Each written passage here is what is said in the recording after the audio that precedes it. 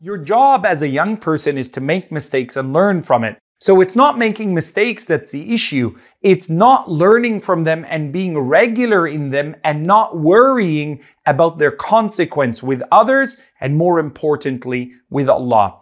The four essential dangers that you and I need to be aware of. First of them is your inner dialogue, what you say to yourself.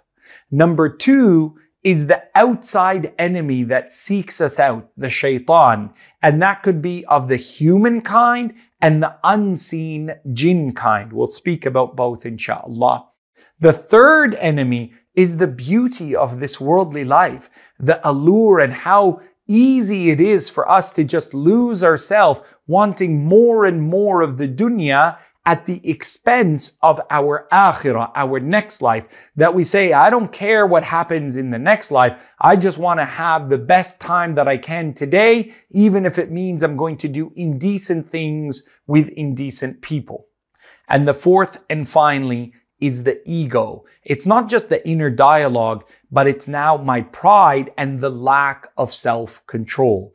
Nafsi wa dunya wa shaitan wal hawa, the evil desire that I crave.